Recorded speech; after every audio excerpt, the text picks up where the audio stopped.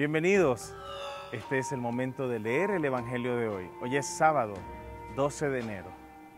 Deseamos que hayas pasado una semana maravillosa y te estés preparando para un fin de semana y un domingo especial. Recuerda que mañana es día de ir a misa y hoy es día de la Santísima Virgen. Todos los sábados celebramos la fiesta de María. Los días sábados se los dedicamos a María. Y bueno, entonces en el Evangelio de hoy tenemos que Juan nos habla de Jesús. Es el capítulo 3 del Evangelio de Juan, versículo 22 al 30. En aquel tiempo fue Jesús con sus discípulos a Judea y permaneció allí con ellos bautizando. También Juan estaba bautizando en Enón, cerca de Salim, porque ahí había agua abundante.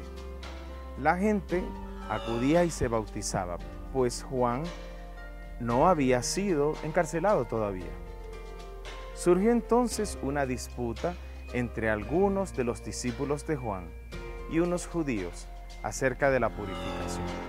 Los judíos fueron a decirle a Juan, mira, maestro, aquel que estaba contigo en la otra orilla del Jordán y del que tú diste testimonio, está ahora bautizando y todos acuden a él.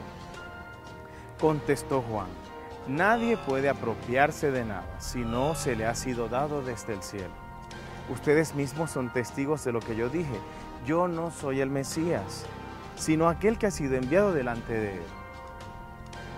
En una boda, el que tiene a la esposa es el esposo. En cambio, el amigo del esposo que lo acompaña y lo oye hablar. Se alegra mucho de oír su voz. Así también yo me lleno ahora de alegría.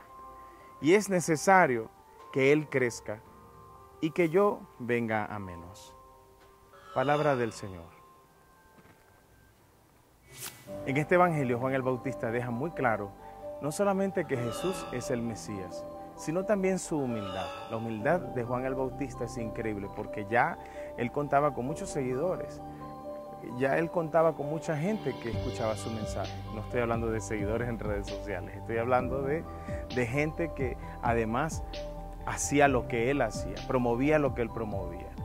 A lo mejor no tenían todos muy claro que a quien él estaba predicando era a ese Jesús que ahora también estaba eh, llamando a mucha gente, estaba convocando ya y recibiendo el, el apoyo de mucha gente. Y hay algo bien importante que tenemos que comprender hoy, es que las competencias, las competencias que se dan en tantas partes. Yo creo que en todas partes mucha gente trabaja para competir. Y eso es algo que te roba mucho la paz, si eres tú el que está en eso. Si alguien está en eso contra ti, bueno, no puedes hacer más que estar tranquilo porque no vinimos a este mundo a demostrar nada a nadie. No vinimos a este mundo más que a compartir la vida, a coexistir con otro, a ser con los demás, a construir un mundo con los demás. Y yo creo que la gente íntegra, que la gente noble, que la gente buena, y la gente de fe a la que yo estoy intentando hablarle en este momento, pues debe ser gente que no siempre quiera hacer las cosas por demostrar nada, menos que es mejor que nadie. Y Juan el Bautista lo deja muy claro. Un amigo, cuando está en su boda, él se alegra de eso, de que esté en su boda. Es decir, el Evangelio de hoy nos está enseñando a no ser envidiosos.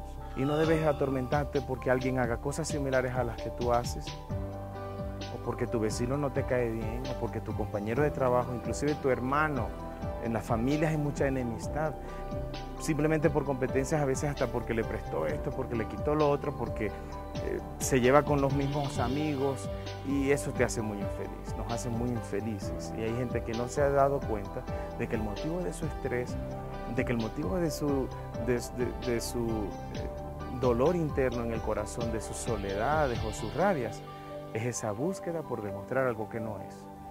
Porque tú no eres mejor que nadie, ni nadie es mejor que tú. Tú eres quien eres, eres único, eres irrepetible. Juan era Juan el Bautista y Jesús, pues es Jesús. Y todos nosotros, si queremos promover a Jesús, pues tenemos que promover nuestra humildad también. No como tal, no nuestra humildad como tal, sino mostrar nuestra humildad al aceptar que cada quien tiene espacio en este mundo para ser, para servir, para trabajar, para construir. Soy el Padre Ronald. Muchas gracias por acompañarnos hoy.